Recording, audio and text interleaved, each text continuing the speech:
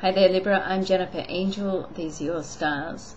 Uh, when it comes to family, family is always important. But right now, it seems that uh, it, there's a special significance with maybe a family event that's coming up, or a discussion, a meeting.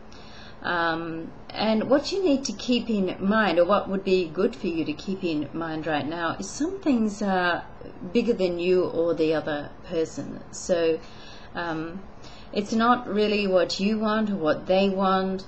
And you know if you can look past that and and look to what is going to be the best outcome of the situation regardless of your personal um, desires then that's really how you're going to get along and be able to come to an amicable uh, outcome you know when it's to do with family um, let's have a look at what else is happening.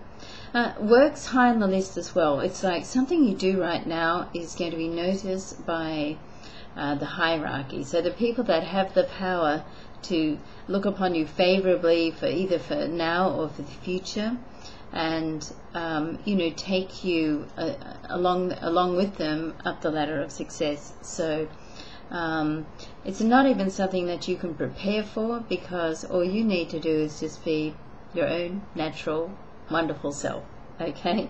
And uh, your skills, uh, attributes, and knowledge will automatically be highlighted. So, but of course, um, being forewarned is always great. So, being on your best behavior, let's say, first impressions are always good, and you know, show people what you can do um, if you can, you know, put your, your best foot forward, then you'll be right there in the limelight, which is where you should be right now.